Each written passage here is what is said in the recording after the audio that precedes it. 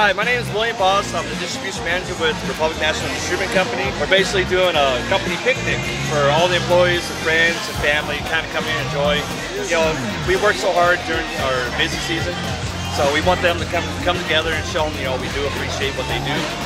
And uh, I mean, we love it. It's a great company. Great company. Did you guys hear about it?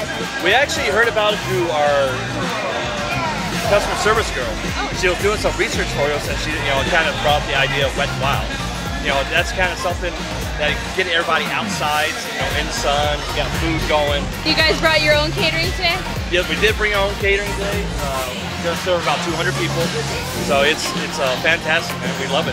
You know, this is something I definitely recommend to people because it's a, it's located off the area. You know, your own private bathrooms, so they don't have to kind of walk the park and try to find a bathroom. So it's something I definitely recommend.